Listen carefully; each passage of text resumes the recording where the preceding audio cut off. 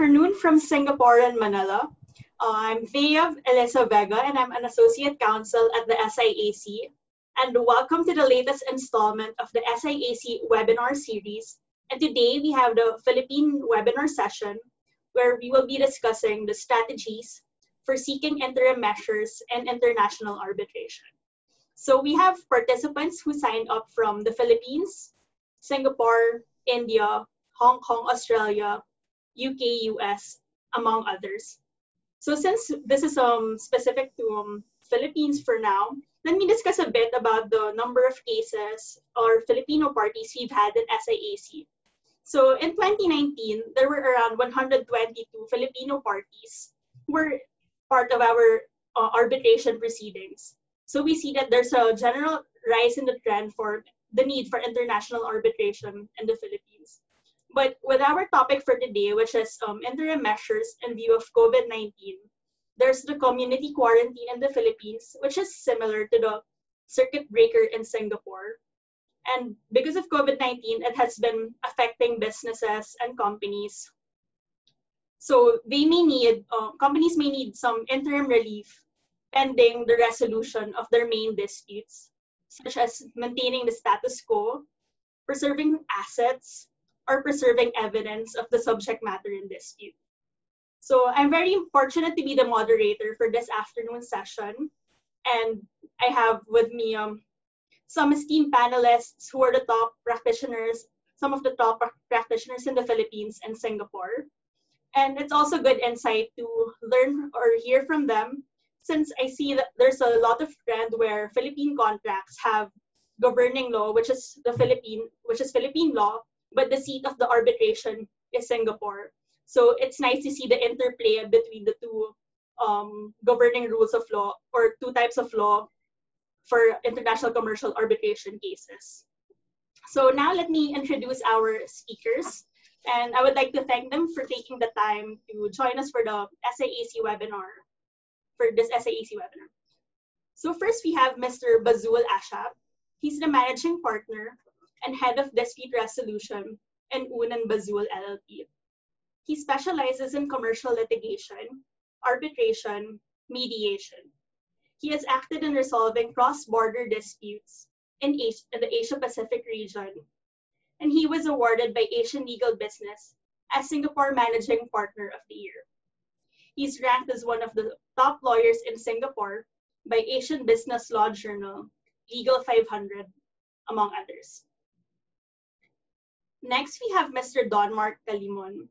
He's a partner at Quisumbing Torres, member firm of the Baker McKenzie International. He heads the firm's dispute resolution practice group and industrials, manufacturing, transportation, industry group. With more than 19 years of experience in dispute resolution, he has acted as counsel and arbitrator in various domestic and international commercial arbitrations. He serves as chairperson person of the Philippine Institute of Arbitrators, and he's part of the panel of the SIAC, PDRCI, CIAC, Philippine Wholesale Electricity Spot Market, and is currently the Secretary General of the Philippine International Center for Conflict Resolution, or PICCR. Next, we have Mr. Philip Jeyaretnam, SC. He's the Global Vice Chair and ASEAN CEO of Dentons, Rodyk, and Davidson, LLP. He's appointed as Senior Counsel in Singapore at an early age of 38. He's named as expert in arbitration, construction law, litigation.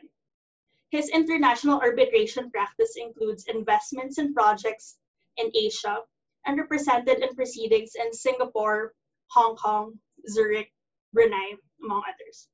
Philip, Philip was president of Law Society of Singapore in 2004 to 2007, and he was also founding chairman of the Society of Construction Law in Singapore.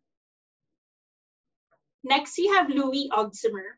He's a partner at Romulo Mabanta, Buenaventura, Sayoc, and de los Angeles. He's the co-chair of the litigation and arbitration department and he heads the firm's arbitration practice. Louis has handled commercial and investor state arbitration cases and institutions like the SIAC, ICSID, PCA, and had domestic arbitration in the PDRCI and the CIAC. He has also had several ad hoc cases under UNCITRAL rules. Louis has appeared and orally argued before all levels of the Philippine judicial system and quasi-judicial agencies and constitutional commissions. He's a member of the SIAC panel and he teaches international commercial arbitration and private international law at Ateneo Law School. Louis was actually my professor in law school, so just in case everyone wanted to know. Next is Miss mm-hmm. Patricia Ann T. Prodigalidad. She's a senior partner at Accra Law and specializes in commercial and construction arbitration, as well as commercial litigation. Though she acts as an advocate in international commercial and construction arbitration, Ms. Prodigalidad served as arbitrator and part of the panel of the SIAC, ICDR, CIAC, PICCR. She's also an accredited adjudicator and has published and lectured widely. She graduated from the University of the Philippines Bachelor's, Bachelor's of Law in 1996 with cum laude, and she ranked number one in the Philippine Bar, and she took her Master's of Law in Harvard Law School. So we really have a wonderful panel with us this afternoon, and I'm very thankful that you have this, you took the time to share your experiences and your expertise with us. So before we go to the panel discussion, let me do some housekeeping um, housekeeping rules so the audience know so the audience knows what they're in it for. So the webinar will be recorded and it will be uploaded on YouTube on the SIAC channel. So we're trying to make this panel discussion as interactive as possible. And there's a Q&A button and the panelists may wish to uh, the audience may wish to ask the panelists. We have limited time, but we're willing to, we're, we will try to go through as much question, as many questions as possible. So we can now start with our um, panel discussion. Then maybe we can first um, set out the background with regard to international arbitration during COVID-19, especially with um, context in the Philippines. So maybe Don, maybe you can give us a background on the current state trends in international arbitration cases in the Philippines during COVID-19. Thank you very much, Thea. Um, it's, uh, it's my pleasure to be here and to, to speak with this wonderful panel. Um, thank you, and uh, thank you to the SIAC for inviting us. Now, um, yeah, that's a, a good question, Thea. Um, and as everyone can appreciate, it's quite difficult to get complete information or statistics regarding um, arbitration, uh, primarily because of the confidentiality of arbitration proceedings. But having said that, let me share uh, what information I have uh, in relation to international arbitration in the Philippines. Uh, uh, I guess give my, my views on its present state as well as the trends here in the Philippines with respect to international arbitration. So I think it's important to point out that the uh, arbitral institutions which are based in the Philippines are mainly the PDRC, Philippine Dispute Resolution Center, the uh, Construction Industry Arbitration Commission, and the Philippine International Center for Conflict Resolution, which is a relatively new um, center. Um, it was set up only last uh, last year or early last year. Um, now I know that there are ongoing um, domestic and international arbitrations under PDRC rules. Um, I was not able to obtain the exact number, but I know that one, at least one, has recently um, gone through preliminary conference virtually. And I also know that there's one um, arbitration, um, although it's domestic, but it involves a multinational company, uh, which will be undergoing a virtual hearing uh, in the next week. Um, I, I, happen to be a, a, sitting as an arbitrator in that arbitration. Um, and I think as of last year, there were several um, ongoing arbitrations, and I'm sure it's still ongoing at this time, uh, many of which would have been affected by the pandemic. And I know that one of them involved an emergency arbitration proceeding. So it's quite um, um, pertinent to the uh, present um, session. And the, I think that was the first emergency arbitration proceeding under PDRCI rules. Uh, the, the EA rules of PDRC took effect only in 2015. Now for CIAC, there are around 39, or actually there are 39 ongoing arbitrations, but all of them are um, domestic. Uh, but I understand that three of these arbitrations are uh, scheduled to have preliminary conferences via Zoom.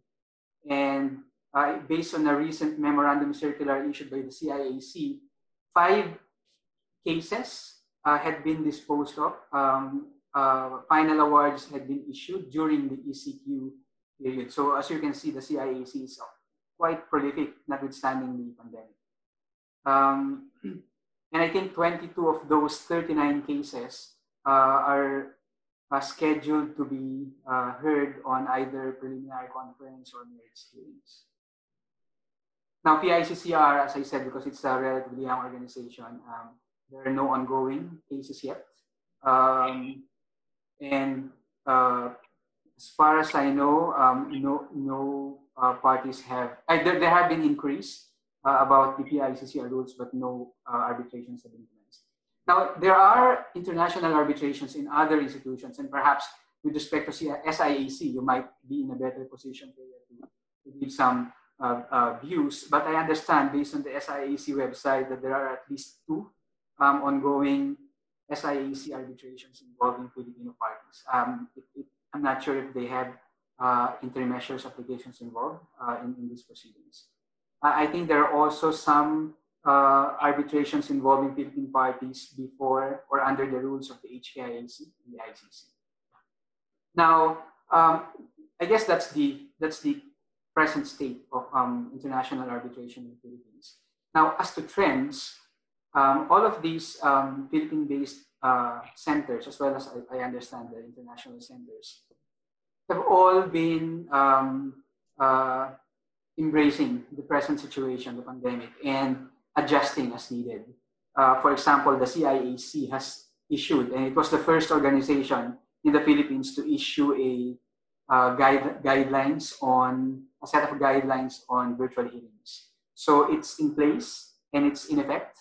Uh, among the uh, unique features of these um, uh, guidelines is that uh, even if both parties refuse to participate, the tribunal can, um, uh, taking into account the circumstances, circumstances, and of course after consultation with the parties, um, consider the case submitted for this decision based on the submissions of the parties. Um, there are no extensions of the deadlines under the CIAC rules, notwithstanding the pandemic.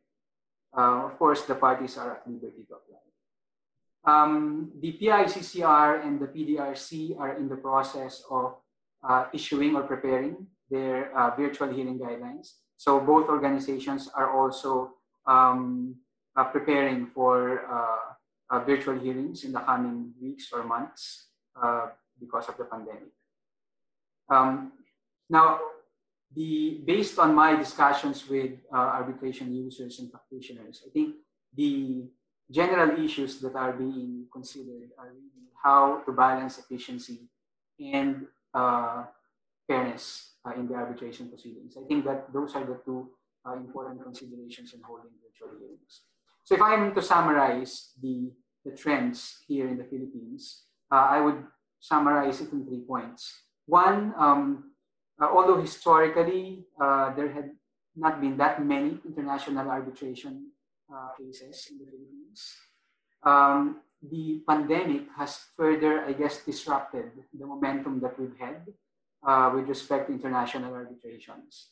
Um, so a lot of number of the arbitrations that were ongoing before the pandemic, uh, uh, I'm sure has been delayed because of the pandemic. But um, the second point that I would like to say is that I think there has been a general acceptance of the viability of virtual hearings in arbitration proceedings. And that is uh, exactly one um, aspect that uh, we've taken into account in the arbitration that I'm presently handling.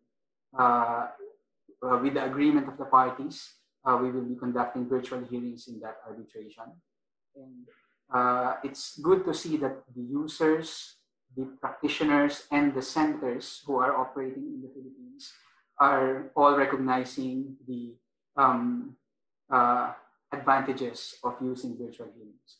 And then finally, I think uh, even after this pandemic, uh, the use of virtual hearings will have its advantages in uh, promoting efficient arbitration proceedings. I think what, what this present pandemic is teaching us is that uh, we can find ways to make arbitration more accessible to uh, anywhere uh, in the Philippines. You don't have to have a physical location for the hearings. You can you can conduct the entire arbitration proceedings online.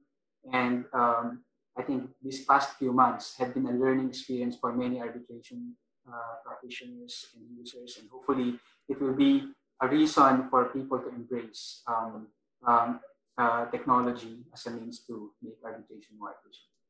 So I hope that that gives the, the general context there. Thanks for the background, Don. So at least our view, at least our viewers now know what the situation is like in Manila. But in terms of SIAC, I'm actually handling a couple of Philippine cases. Um, so it's interesting that some arbitrations are still ongoing despite the pandemic. And there are also, I think last year, as I mentioned earlier, there were 122 parties from the Philippines who participated in SIAC proceedings. So we can see that generally there's a trend going upwards for international arbitration. And Don, you're right that we will be able to perhaps um, solidify the virtual means for easier access in doing arbitrations now, even after the pandemic. So next, uh, maybe we can um, ask Bazul on what the um, international arbitration trends are in Singapore during COVID-19, if he has any um, experience so far. Bazul? now, I'm going to touch on uh, two aspects. One, Don has covered to some extent. It is virtual hearings, how they are assisting parties to get on with arbitration so that they can address the wrongs and have the commercial um, outcomes they seek to be given to them the other is the type of cases which are coming before the tribunal um, during this COVID 19. Now, the first, it is now becoming clearer that virtual arbitration is possible to be conducted in its entirety. It was the case that for EA arbitrations to be conducted virtually, now people are realizing that although it is not perfect, although as lawyers, as arbitrators, we want to see the demeanor of witnesses when we are cross examining. Uh, we want to see how long they take. We want to avoid any risk that their evidence may be contaminated by someone coaching or they're reading something. But business has to go on, life has to go on there's no perfect solution. So virtual arbitrations are providing that solution in this difficult time for parties where everyone is locked down, people can't travel, but the businesses have to go on. Um, now, I understand that Maxwell Chambers in Singapore has been offering virtual ADR hearing solutions. And which have been employed during the lockdown period quite successfully. In fact, uh, there was a, a hearing which was featured in the Global Arbitration Review in April, uh, where the Respondents Counsel based in London was able to conduct a virtual hearing quite successfully, and the feedback has been very positive. And Philip uh, is the chairman of uh, Maxwell Chambers, and I'm, I'm sure he'll be delighted and he would be able to speak on this further. Mhm. Um, so that's one aspect. The other aspect which I see parties employing is where possible conducting document only arbitration, where you don't undertake hearings, where you provide submissions before a tribunal, and the tribunal then reaches its award based on what is before the tribunal without having to hear parties. There, you need the consent of the parties. The tribunal cannot unilaterally impose um, a document only arbitration. Given the pandemic, I am seeing parties more prepared to take this document only route, although it there may be some compromise. But it's best to take it forward rather not to do anything. So that's that's one. Uh, but in terms of virtual hearing, I hear what Don said. I hear what Thea said. Whether that would be something going forward would would be accepted as the norm. I hope not. I hope not because I still believe that cross examination requires the witness to be in front of you um, for you to hear, see, and feel uh, in order for you to extract uh, what is required uh, from the witness so that the arbitrator can then decide. So I think we are still human uh, and we will remain so for a very long time. We are social creatures. And I think travel is very important. Once COVID is over, I don't think beyond emergency arbitration, we will have virtual hearings uh, for the entire arbitration. That's that's that's my view. I don't know whether I'm in the minority in this panel, but I thought I should put that view forward. The second is the type of cases which are coming before the uh, tribunal. Uh, given the COVID situation, there are parties who want to get out of their obligation, contractual obligation. So the usual route to get out would be to rely on a force majeure clause, clause in the contract and or relying on the concept of frustration, which is provided for under common law. Uh, I see these cases coming upfront more often these days. I won't engage into the details at this juncture of when you can rely on force majeure, when you can rely on uh, frustration. I'll, I'll leave it for discussion if it is a topic of interest for others. Thanks, Thea. Thanks, Bazul. So now, since we were able to um, give the background on the two jurisdictions with regard to COVID-19, maybe Louis can describe the need for interim relief given this pandemic situation, like with the community quarantine in the Philippines. So in what instances do you see um, interim relief being needed? Okay. Um, thanks, Saya, and, and thanks again for the to SIAC for organizing this. Um, I probably we should look at it. Uh, I, I'm approaching this from the perspective of international law and also from the perspective of uh, Philippine law. Um, first, we have to look at this COVID-19 situation as giving rise to a lot of issues uh, concerning force majeure, as Bazul uh, already mentioned. Uh, and, and on top of that, I think what is important for those who are listening to this to this webinar is for them to understand the concept of arbitration. Arbitration, as I always tell, uh, and, and I'm sure Thea is so fed up with this, is a creature of contract. And therefore, um, for there to be an arbitration, there has to be an arbitration agreement. And that ar- arbitration agreement is usually contained in, an, in a main contract. So during the COVID-19 situation, uh, I'm sure as, as most of the members of the panel have, have experienced, we've gotten a lot of inquiries about force majeure, about material adverse um, clauses, um, termination for convenience, change in law clauses. These are things that you have to look at when it comes to this particular situation that we have now.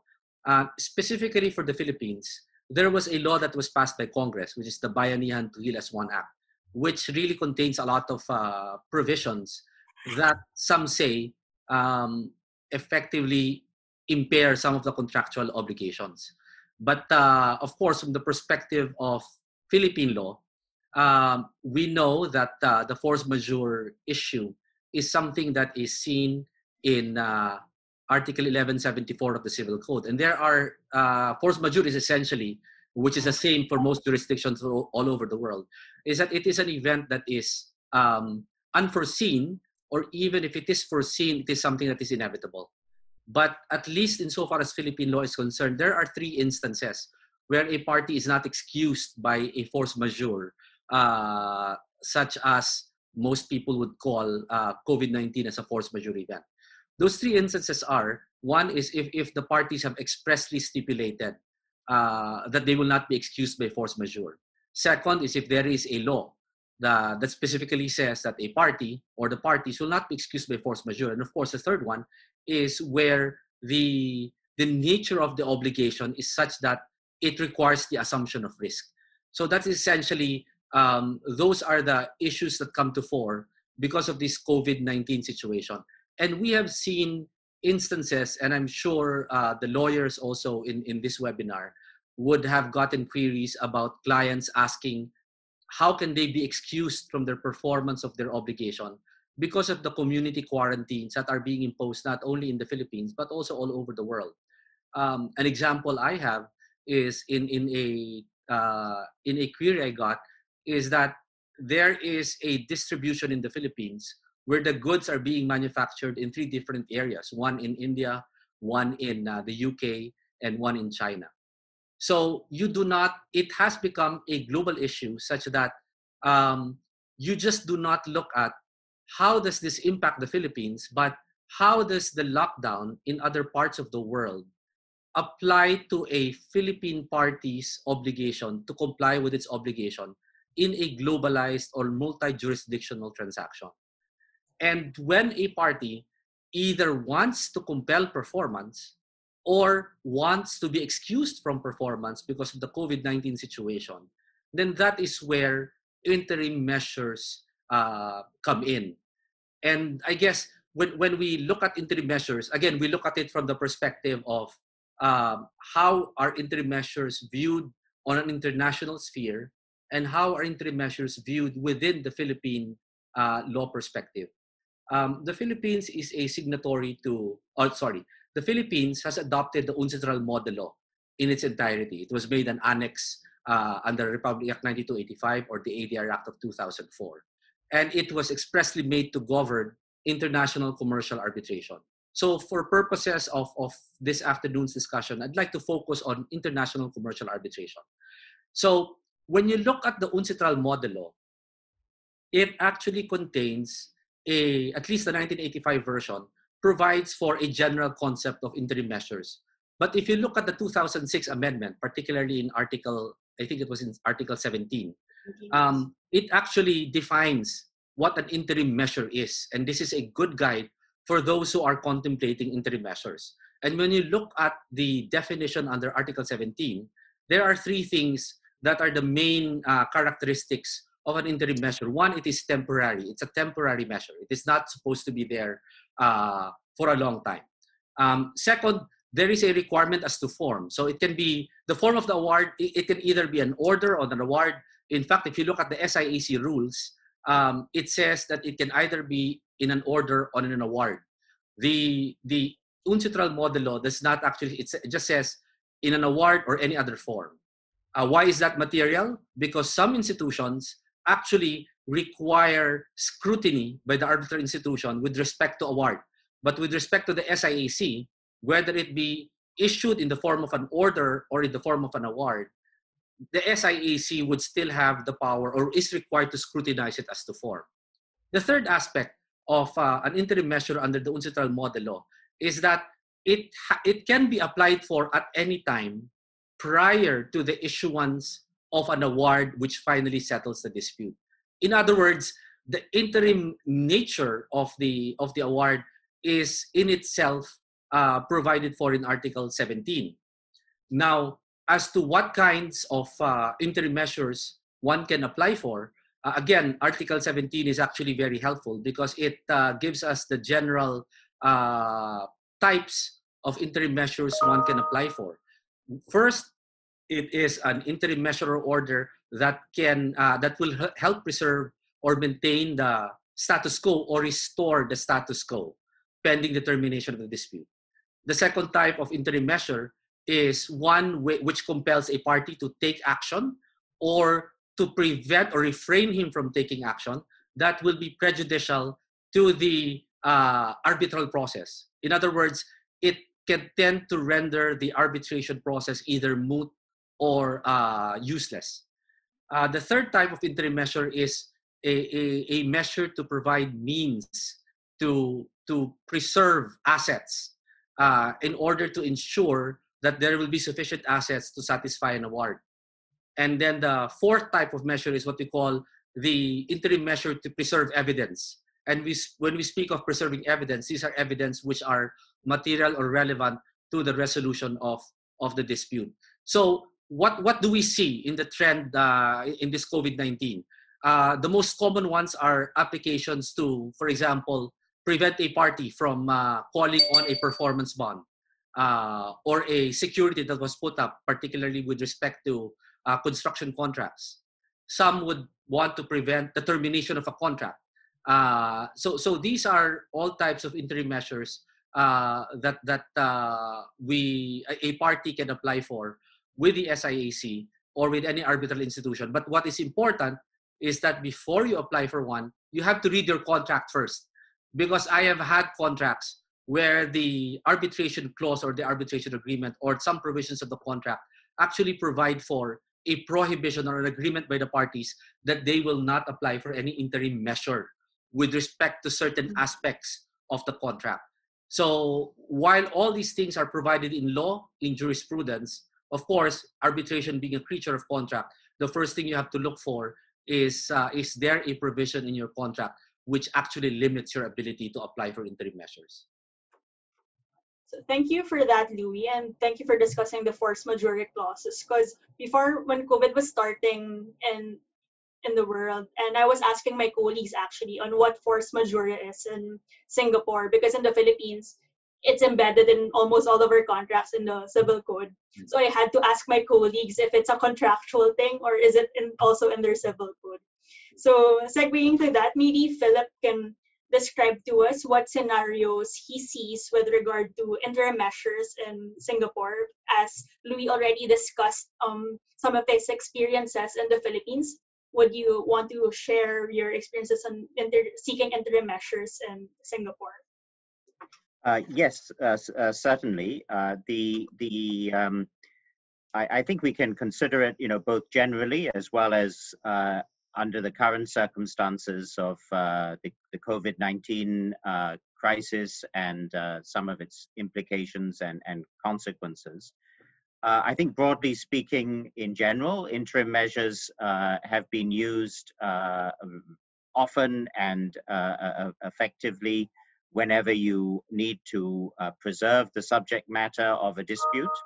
Um, and and then uh, interim measures have also uh, been used uh, in relation to uh, threatened terminations on occasion, uh, or, and also um, uh, events within organizations and corporations which are thought to be in breach of some constitutional provision. So there's a whole range of of um, ways in which it has been used.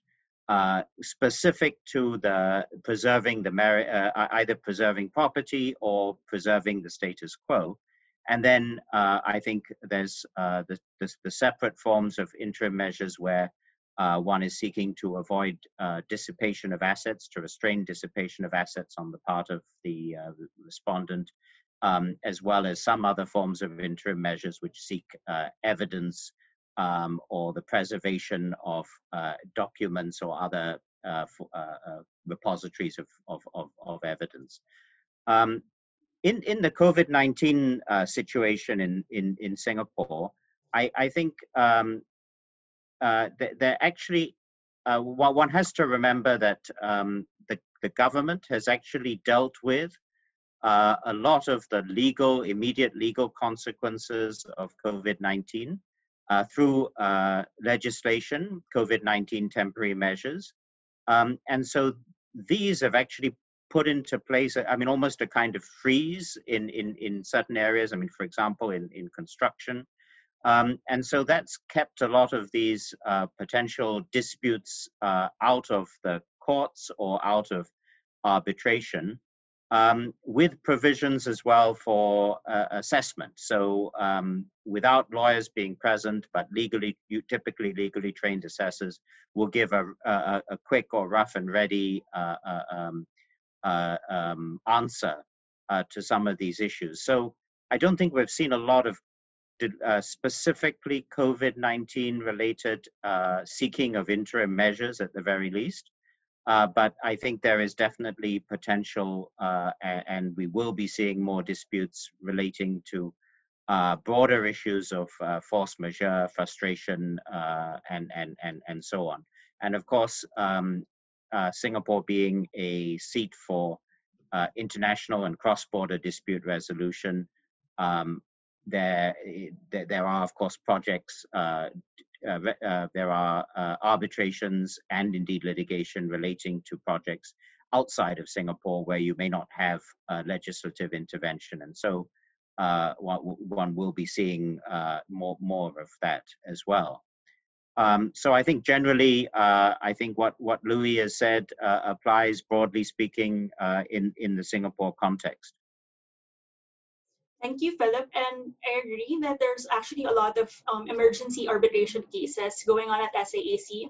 And I think, um, as I told my the panelists yesterday, I'm actually in the middle of one now, and I'm sure my colleagues are also managing their um, emergency and relief cases. And it's not particularly just Singapore or Philippines, but as Philip mentioned, there's some countries without legislation um, responding to uh, COVID 19. That's why emergency interim relief is necessary in certain instances.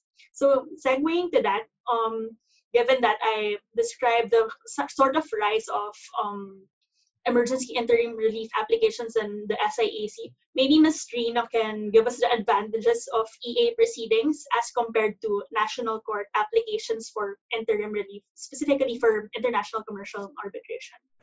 Thank you, Thea. Uh, good afternoon, everyone. Um, I think we have to consider whatever advantages people see in arbitration as a form of dispute resolution, this flow into and extend to EA or emergency arbitration proceedings. So uh, the benefits that you would typically talk about when you decide to go through arbitration would be confidentiality. Oftentimes, you don't want your dispute um, put into public records uh, since ADR arbitration is a private forum for your resolution of your dispute, it remains confidential. And under Philippine law, in fact, it is um, the consequences are dire because it's legally mandated confidentiality in the Philippines, regardless of whether it's international commercial arbitration or domestic. Um, another advantage would be, um, of course, this swiftness within which resolutions and relief can be given. Um, although the Supreme Court has made it a point to promulgate rules that are summary in nature, to have expedited um, action on applications for interim relief, interim relief by courts, there is still room for delay, and oftentimes, um, because of parties' various filings, which courts uh, just accept, uh, the resolution of the application tends to be slowed down especially at this time under COVID, it would be more feasible to actually apply for an emergency arbitrator with the SIAC than it would be to go to the national courts. Um, although we are on different levels of uh, community quarantine, you have to go to a specific court to ask for relief. You can't just go to the court that happens to be open. Under our rules, there's a certain venue provision that you have to go to if you want to apply for interim relief to the state courts. And if that happens to be on lockdown, in fact, just today we got an announcement that one of our courts in the city of Manila, that entire trial court has been put on complete lockdown.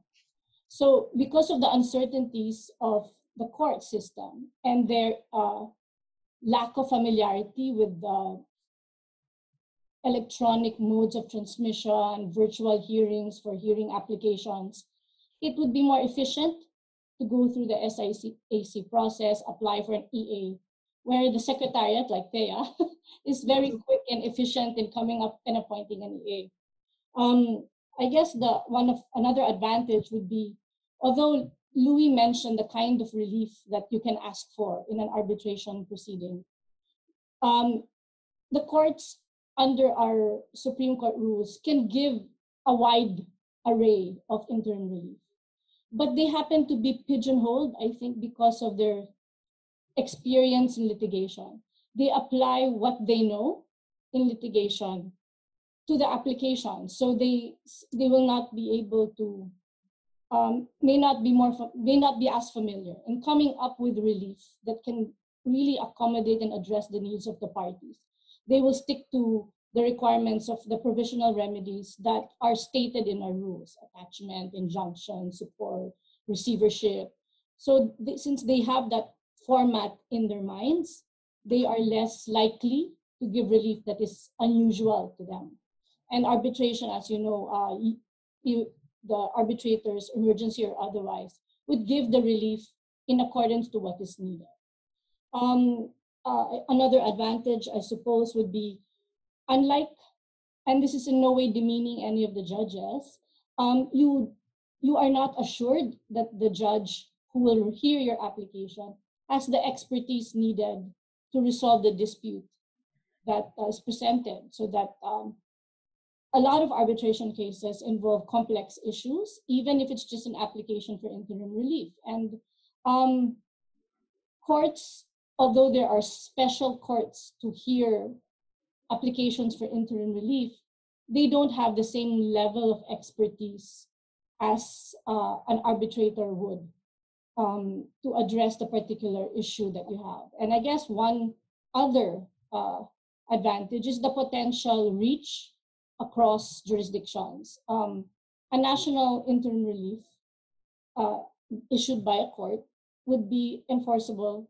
within the jurisdiction of the court or of the Philippines, as the case may be. But an award, if it is an emergency arbitrator award or uh, some form of interim relief given by the tribunal in an arbitration proceeding, the potential of having enforcement across jurisdictions, that is there. So if you think you need to be able to enforce your interim relief across jurisdictions, it would be better to uh, go through an application for an EA than it would be to go to state court. Thank you, Ms. Trina. And since we're discussing about um, national court applications, maybe I can go to Bazul and maybe Bazul can discuss if a party applies concurrently to a national court to seek similar or related interim relief, will, will, will there be any impact on the emergency arbitration proceeding, if any? In Singapore, the both the EA and the courts have power to order interim relief under the IAA, International Arbitration Act. And the courts will only intervene in arbitral proceedings in very limited situations.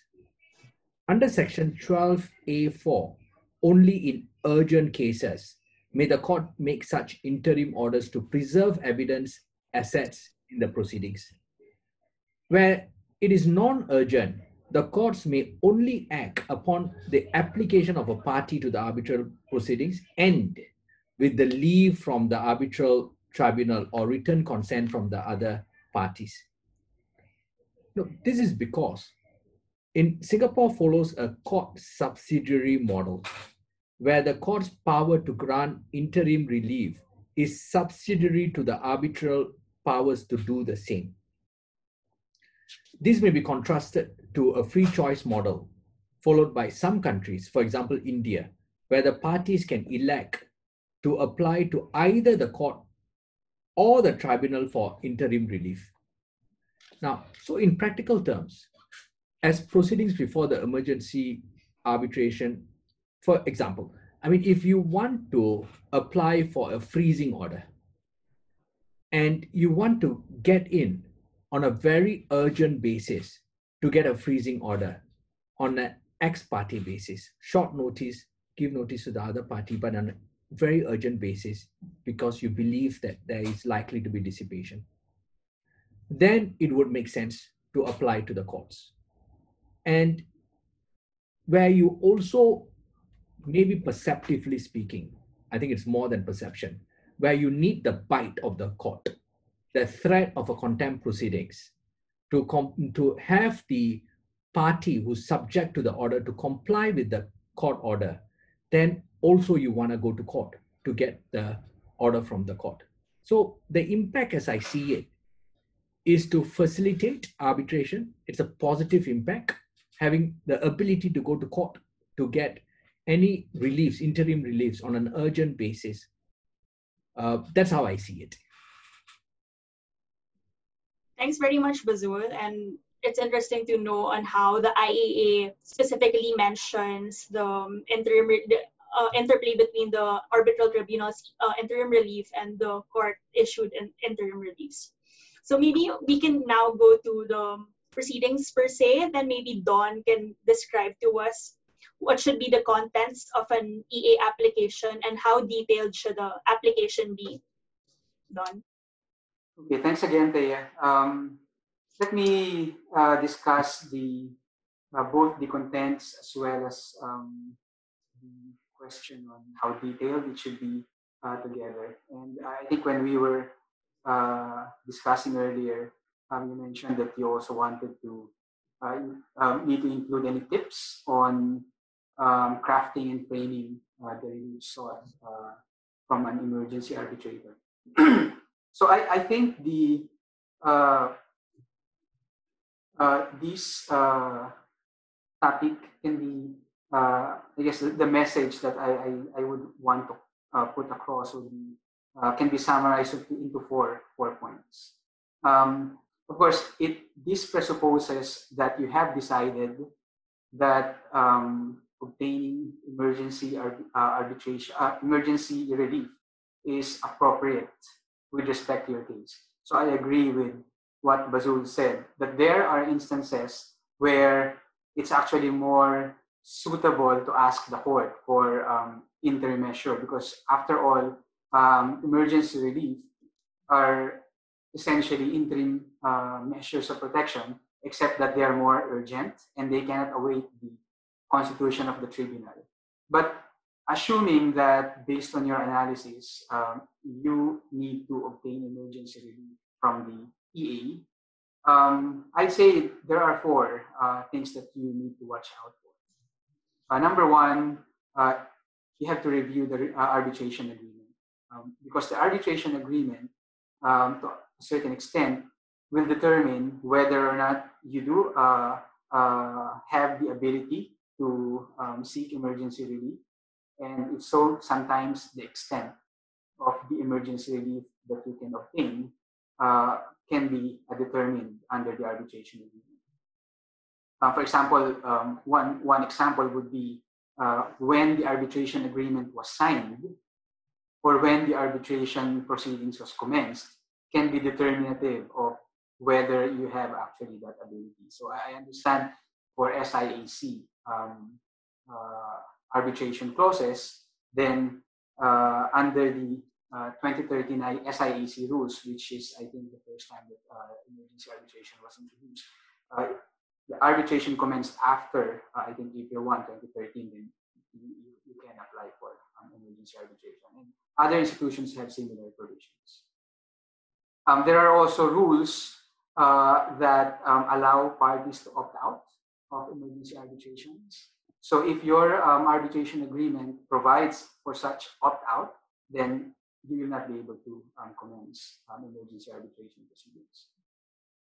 Now, second point would be the arbitration rules that are applicable is also important to take into account. And this is where the contents of your uh, emergency arbitration um, application, as well as the relief that you seek, uh, would um, be determined.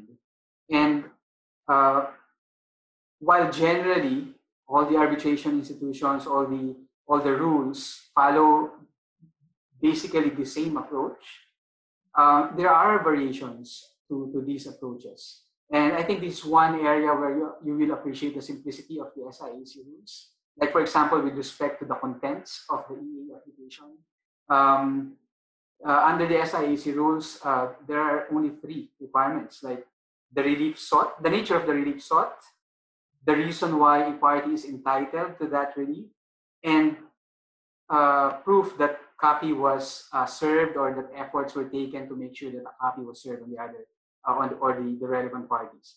Um, other institutional rules have more requirements, but essentially I think these are uh, uh, the, the most important um, elements of an EA application. Uh, with respect to relief, there are also some differences. Uh, the SIAC uh, generally provides or broadly provides that um, interim, emergency interim measures as the EA or the tribunal may deem appropriate. Uh, so that, that's, that's the general standard. Um, other institutional rules uh, provide for more details. Uh, like for example, here in the Philippines PDRC, uh, identify the type of um, reliefs that are available, uh, preservation of assets, um, provision of security, uh, and, and, several other matters. So it's important to look at the arbitration rules. Then third, the arbitration law uh, um, applicable is also important. Um, because the arbitration law may limit also the extent of the um, relief that you may uh, obtain. Um, in the Philippines, we don't have uh, uh, emergency arbitration provisions in our law. So we, we were looking at uh, the possibility of revising uh, the Philippine arbitration law to include provisions on enforcement of emergency arbitration awards. But that process is still ongoing, and I'm not sure whether we will be able to see any changes in the near future. Um, and I think this is the reason why PDRC, for example, um, included a, uh, an innovative provision in their rules where uh, emergency arbitral awards uh, will have the same form or will take the same form and will have the same effect as interim measures of protection. So because uh, Philippine arbitration law recognizes enforcement of interim measures, um, if uh, if the parties have agreed that their EA uh, awards will be or orders will be considered as interim measures, then they should be enforceable um, under Philippine law as interim measures. Uh, that uh, issue is currently being tested uh, in one in one case in the Philippines. And finally, the fourth point would be look at the place of enforcement.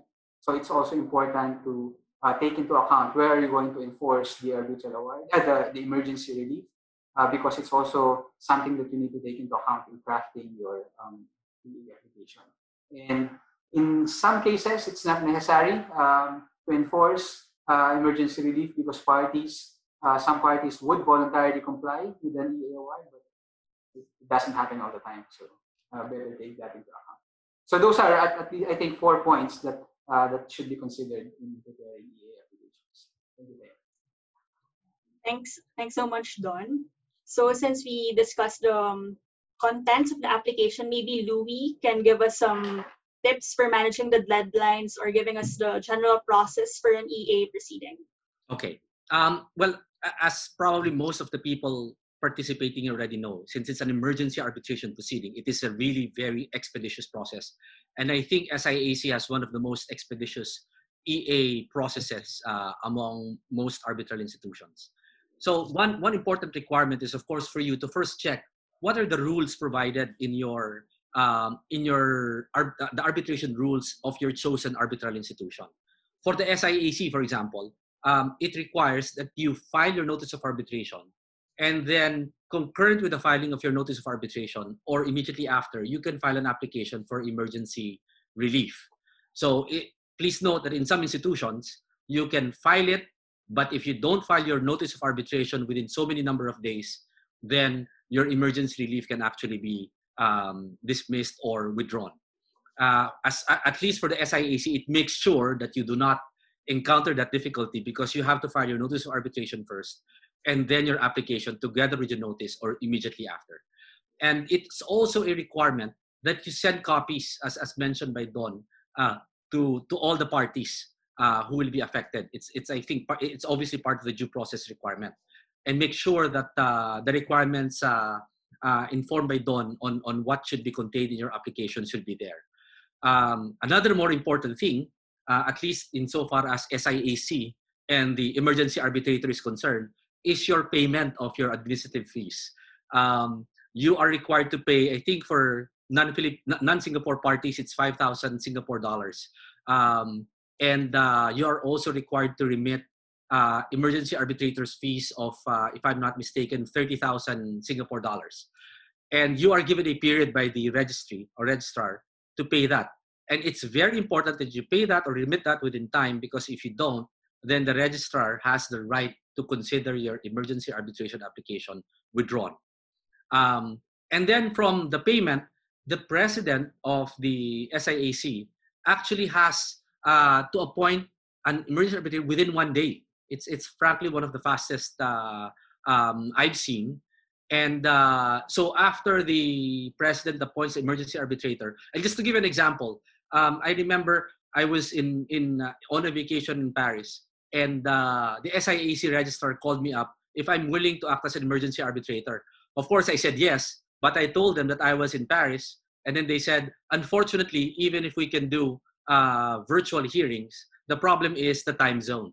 So, so that's how sensitive the SIAC is insofar as the requirements of the parties, because the parties, I think, were both in Singapore, or at least in the time zone of Singapore. Um, second, uh, so once the, the emergency arbitrator also, as, as with most arbitrators, you're required to make a statement of uh, impartiality. Um, so, so unless you're, the assumption is if you're qualified, then you can act as an emergency arbitrator. Uh, and the parties have, the, the other party has a right to challenge the appointment of an emergency arbitrator, but you have to do that within two days from being notified of the appointment of the emergency arbitrator. Um, and then from the appointment, the emergency arbitrator has only two days to schedule the process by which he or she will be conducting the emergency arbitration or the, the uh, uh, how he will consider or she will consider the application for emergency relief. Um, and another very stringent requirement is that the emergency arbitrator has to issue his or her order or award within 14 days from his or her appointment. So again, which shows you how expeditious the, the process is. And uh, so, so the emergency arbitrator can conduct it either virtually or call in-person hearings. Uh, most likely, in a situation that we are now, hearings will be done virtually because uh, to avoid any travel restrictions of the parties, the witnesses, and so on and so forth. Um, and you also have to understand that the the effectivity of the emergency arbitration uh, arbitrator's order or award uh, it ceases to be binding on the parties uh, after 90 days from the issuance of the emergency arbitrator's order or award so how do you now manage knowing that this is a, a very fast track process um, of course if you're the, the claimant or the applicant make sure that you've already done all your preparations you actually have the edge in an emergency arbitration application line up all your witnesses. That most likely the emergency arbitrator will limit the number of witnesses because of the, the, the extremely short period that he or she is given. Um, make sure that your submissions are already ready. And if you're on the side of the respondent, once you get that notice, uh, I mean, you, you would have already known that uh, a dispute is brewing and that something most likely will be applied for. So, so that is also something that you have to consider. And I think to, to also dovetail with what Trina said, insofar as deciding whether to go to a local court or to go to an emergency arbitration uh, um, remedy uh, with the with the SIAC. You also have to understand that the facilities uh, for a virtual hearing, especially during this COVID-19 situation, um, I think SIAC would have a very very uh, big advantage there uh, because they know how to handle. Whereas for most courts, while of course most courts are already now equipped uh, the rules of the Supreme Court were only issued uh, sometime in May, just last month. So some familiarity is being still uh, uh, made by judges on how to handle virtual hearings. Whereas in SIAC, this is something that they're very familiar with. So that's something I think, those are just some of the tips. I'm aware of the time, so I'll, I'll end there. Uh, thanks, Louis, for summarizing the whole EA proceeding for the SIAC. And the crucial thing is actually the scrutiny part because the arbitrators or the EAs should be able to take it into consideration with managing the schedule. For example, on 14 days, it's the award should already be out. So they should take into consideration like one day or two for the SIAC registrar to scrutinize the order or the EA award. So since we mentioned, um, Louis mentioned the virtual hearings given the COVID-19 situation now, especially for EA proceedings, maybe Philip can give us some tips for advocacy for EA proceedings if he has any experience with regard to virtual hearings for EAs, for example, like what should the parties focus on? Uh, sure. Uh, well, you know, virtual hearings, I've, I've, I've been appearing in them both uh, as counsel as well as arbitrator, um, as well as counsel in court proceedings. So uh, I, I, I, think there are a number of uh, things to, to keep in mind. Uh, first of all, um, in, in terms of the preparation and the presentation of, of documents, I think it's it's it's very important to be uh, prepared as to what you really need to show to the decision maker, uh, and to be able to make use of the technical facilities for for sharing documents in the appropriate sequence, or indeed using a PowerPoint presentation to go through. Uh, of course, documents that have already been filed, or possibly some demonstrative exhibits uh, but generally, as with all arbitration proceedings, you can't take your opponent by surprise. So it has to be something that's already uh, uh, been uh, uh, served or, or, or, provided, but it can be organized in the form of your presentation. And I actually do think that virtual hearings can be uh, can be very effective and can be in some ways more effective than an in-person hearing uh, because they become very focused. And you, you as an arbitrator, you can really look at the advocate, and as the advocate, uh, you are really just uh, focused, sitting there and um, and addressing, uh, in the case of an EA, a one-person arbitrator. Um, I, I, have had experience where I've been addressing three people at the same time know, on a virtual hearing, and I think that's a little bit more tricky. At least when you're in person, you can keep all three of them in sight. Uh, but uh, somehow, when you're doing it virtually, um, you you you that that becomes a little a little harder uh, to do. So that maybe that's just a matter of getting getting used to it. I think, as Bazul said earlier, virtual hearings are here to stay, except that perhaps uh, when it comes to witness hearings, um, I, I, I, suppose people will uh, continue to prefer um, at least as, as advocates and perhaps as tribunals, that opportunity to see people in person uh, and to uh, uh, get a better sense of them, their character and demeanor. But for an EA hearing where it really is unlikely to turn on, I mean, it should not be turning on contested uh, witness uh, testimony at all. Um, in fact, uh, in, in a typical EA, I don't think you would really be having oral, oral testimony. I think it works. It actually works uh, works very well. Um, I did want to add one point, um, which I think might be helpful, sort of going back a little bit in the discussion. But I, I, I do think, you know, the the, the shortcoming, uh, unfortunately, for an EA application, there there are some shortcomings, um, and uh, one of those is that um, if you need to um, enforce your order against third parties. If third parties are involved, um, it's really uh, not terribly effective taking it through an EA because you're going to have to end up in a in in court anyway. And so, to the extent that that's possible, uh, it may be preferable to go straight to court. Uh, I think Bazul mentioned uh, urgency um, as another issue. And I think there's also the issue of notice. Uh, in arbitration and in the EA, you have to um, give everyone notice. Uh, but sometimes, in an urgent injunction situation, uh, particularly when we're talking about dissipation kind of injunctions, um, that really is is uh, is going to make it ineffective. So um, there are some limitations as well. But I definitely think that in terms of the form and the format, uh, virtual hearings are going to be a very important tool uh, going forward.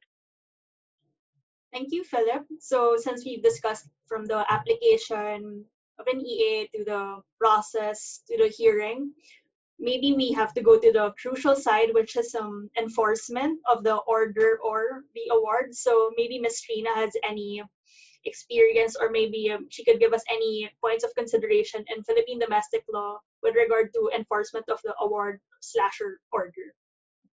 Um, everyone seems to say that the most important part of an arbitration relief is the ability to enforce it. And um, for obvious reasons, um, if you are in a private forum, such as arbitration, you don't have the teeth to bind third parties. You don't have the teeth to compel parties who, to the arbitration to abide.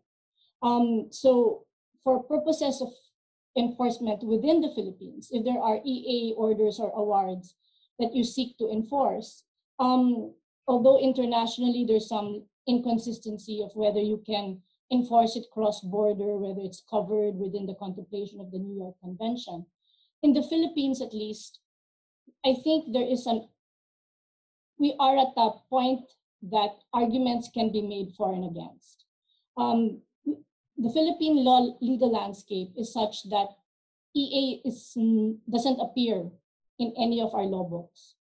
It has not been mentioned at all in the Supreme Court rules, and there is yet no Supreme Court decision on any emergency arbitration award or order. So the silence of the law can be a source of flexibility, and we can use that to our advantage. At the same time, it can be a source of uncertainty on the part of the parties, and as well as um, it can cause delay. Um, but if you want to enforce it, I think Don already mentioned this earlier, that there is a way to do it uh, by avoiding the New York Convention altogether and saying an EA, award or order, is actually an interim measure, an interim relief. And the Supreme Court rules in the Philippines allows parties to go to the courts to ask the assistance in enforcing the emergency or interim relief. And um, this, uh, you can fashion that argument, and hopefully the court will appreciate it as an interim relief.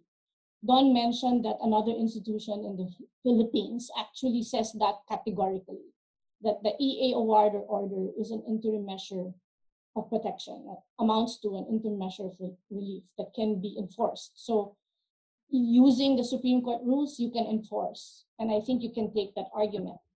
Um,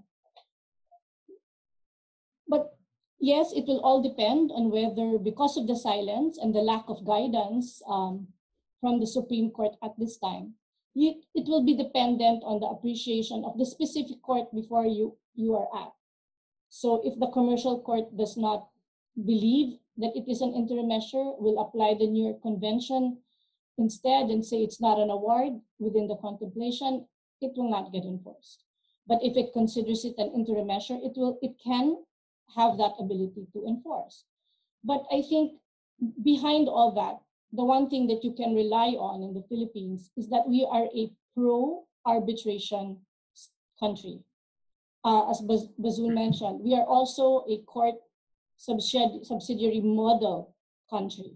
So um, it gives a lot of um, leeway to the tribunal. And the Supreme Court rules specifically say, if there's a scenario we did not contemplate, then you look to the law on our ADR, you look to the rules and give effect to its intent.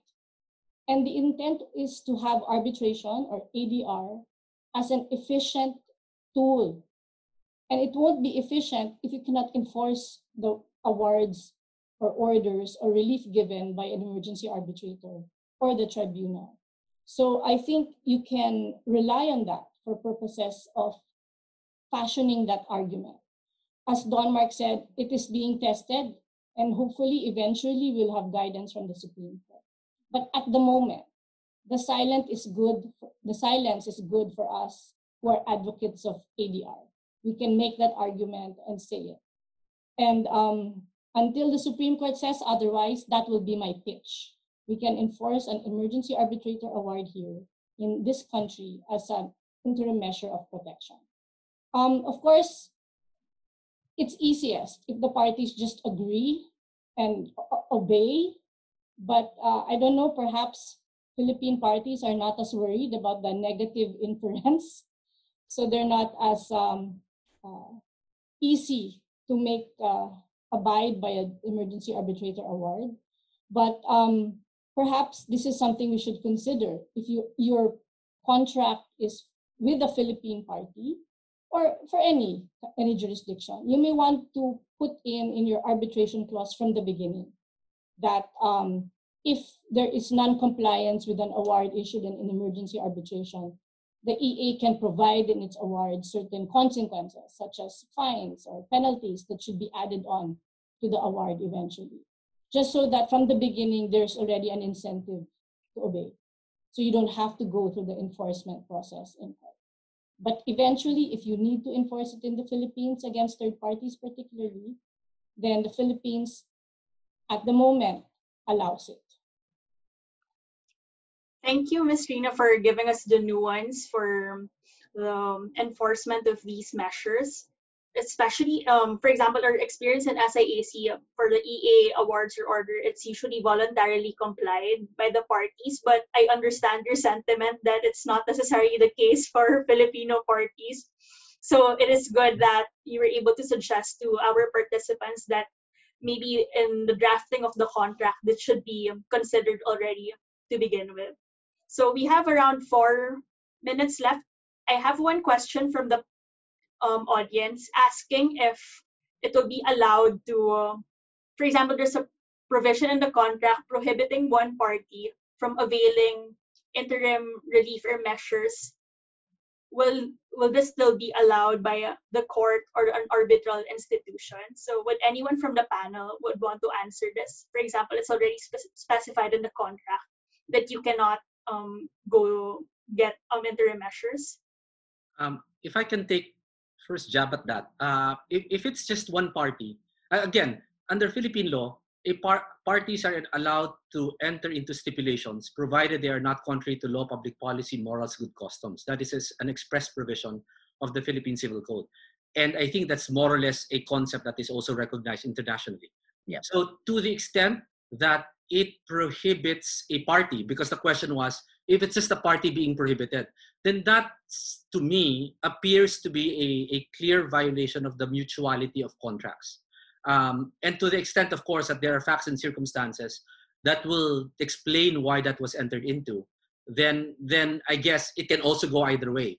Uh, but if one can establish that the recourse to an emergency arbitrator for interim relief is something that is necessary or goes into due process, justice, etc., such that that violation can actually be attacked on the basis of being contrary to law, good policy, etc. Then, at least from the perspective of Philippine law, that that can be. But again, I, I, I would differ if it were both parties being prevented, in which case both parties had already agreed not to uh, apply for interim measures or emergency relief. So, in which case, that may be a harder argument to run. So does anyone else from the panelists want to add on Mr. Louis' answer. Um, hi, Thea. Uh, just to add to, to what Louis said, maybe um, on, on the assumption that both parties have agreed um, not to um, uh, avail of interim measures, then I think we might as well make a distinction between the tribunal and the courts. I think for the tribunal, then obviously their agreement will be binding because the jurisdiction of the tribunal and the EA depends on their agreement. But with respect to a court application for interim measure, it may be less categorical, uh, even though they have um, agreed not to apply for interim or provisional remedies. The court may override that agreement depending on the situation. So, because uh, the court's jurisdiction will not be by virtue of the agreement of the parties, but by law. So, yes, I think that's that's a distinction that should be taken Thanks very much, Don, for that. So I think this is all the time that we have for this afternoon. And I'm very grateful for our panelists for taking the time, despite your busy schedules, to join us for the SIAC Philippines webinar. I certainly learned a lot, and I hope that our audience participants were able to learn a lot from you as well. So on behalf of the SIAC and the panelists, thank you very much for joining us this afternoon. This video webinar will be on the website and YouTube channel of SIAC. Then you may also um, answer the feedback form after this Zoom meeting has ended. So thank you very much for your panelists and the audience for participating. And you can watch more webinars from the SIAC in the upcoming days and weeks. So thank you. And I hope you have a good afternoon and evening. Thank, you very much. Thank you. Thank you, everyone.